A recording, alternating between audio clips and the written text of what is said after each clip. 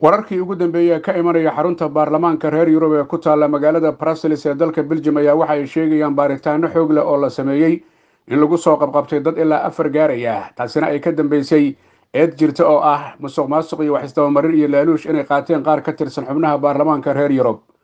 Wararka ka imanaya qolyaha waxbaaraya iyo booliska dalka beljum waxa ay sheegeen in la eedeynayo dadkaasi xubnaha oo markii hore lix qofood la xiray kadibna laba la sii daayey oo afar ka mid a ay ka mid tahay haweeneyda guddoomiye ku-xigeenka ka ah baarlamaanka reer yurub oo lagu magacaabo eva kayle oo u dhalatay dalka griega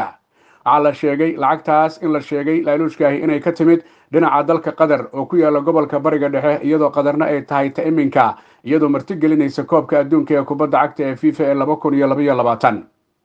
Booliiska iyo dadka kale waxbaaraya waxay sheegeen in la helay guud ahaanba lacag gaaraysa hal milyan iyo shan boqol oo kun oo yuuro oo laga helay meelo kala duwan. Guryaha la baaray ayaa qaarkood mid waxaa laga helay lix boqol oo kun oo yuuro oo cadaan amaba kaasha guri kale oo qof ka tirsan baarlamanka dalka yurub waxaa isagana laga helay boqol iyo konton kun iyo weliba hodheel weyn oo ku yaalla magaalada brussels. Qol ku yaalla oo laga helay lacag kale oo boqolaal kun ah. Lacagtaasi dhammaanteed waxaa loo tirinayaa inay tahay laaluush la bixiyey si markaas dowladda qatar oo eedda loo tirinayo ay ugu yeelato log go'aad ahaanba go'aamada dhinaca siyaasadda iyo dhaqaalaha ee reer yurub.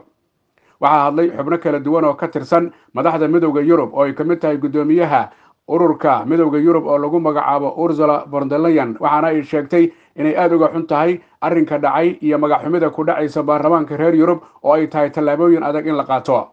Guddoomiyaha baarlamaanka reer yurub haweeneyda lagu magacaabo roberta metsola ayaa iyaduna sheegtay inay aad u foolxun tahay oo maanta loo arko in la soo weeraray dimuqraadiyaddii midowda yurub mar haddii xubnihii baarlamaanka reer yurub gubbo ama laaluush la siinayo. Waxaa kaloo isaguna hadlay madaxa arrimaha siyaasadda dibadda oo lagu magacaabo joseph borel oo sheegay in tallaabo adag laga qaadanayo cid kastaoo magaxumo u keenaysa iyo dhibaato midowda yurub oo ahaa marka la fiiriyo urur caalamiya oo adduunka ka tilmaaman iyo baarlamaanka reer yurub oo ay ahayd buu yiri inuu tusaale u noqdo baarlamaanada kale ee dunida.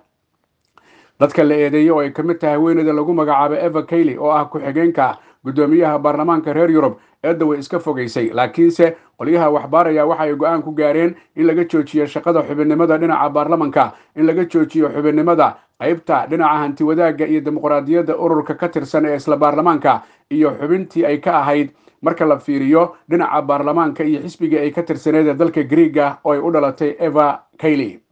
waxaa kale oo wararku ay sheegayaan in baaritaanka lagu hayo dad kale oo loo tirinayo inay ku lug leeyihiin guud ahaanba arrimaha ku saabsan gubbada iyo laaluushka soo dhex gashay guud ahaanba midowda yurub. Haweeneyda madaxda ka ah midowda yurub baarlamaankooda oo lagu magacaabo roberta metsola iyadoo joogta dalkay u dhalatay ee malta ayaa loo yeeray oo ay timid si ay markaas wax uga ogaato guud ahaanba baaritaanada lagu sameynayo qaar ka tirsan xubnaha baarlamaanka reer yurub oo loo arkayo inay isqaateen laaluush iyo wax isdabamarin eedda guud ahaanba la soo jeedinaya waxay tahay in laga qayb galay dembiyo la abaabulay in la qaatay dhinaca laaluushka iyo gubbada iyo in magaxxumo loo keenay marka la fiiriyo baarlamaanka reer yurub waxaa kale oo ay wararku sheegayaan in ay jiraan shakhsiyaad kale oo aan iminka xil haynin oo uu ka mid yahay shakhsi talyaaniya oo lagu magacaabo pier antonio banzeri oo iminka xubin ka ah urur u dooda xuquuqda bini aadamka laakiin hore uga tirsanaan jiray baarlamaanka reer yurub. Marka haddaba laysku soo xooriyo arrinta ku saabsan baarlamaanka yurub magaxxumada maanta waxay u arkaan inay tahay tii ugu xumayd marka la fiiriyo abid taariikh ahaan baarlamaanka reer yurub. Waxay rajeynayaan in maalinta berri oo arbaca la keeno. Maxkamaddii hordhaca ahayd xubnaha la eedeynayo iminka afara laba hore oo la sii daayey iyo in aan meesha laga saarin inay dhici karto. Dad kale iyagu inay soo baxaan. Waddanka qatar marka la fiiriyo ayaa la eedeynayaa oo la leeyahay isaga ayaa lacagta siiyey xubnaha ka tirsan baarlamaanka reer yurub.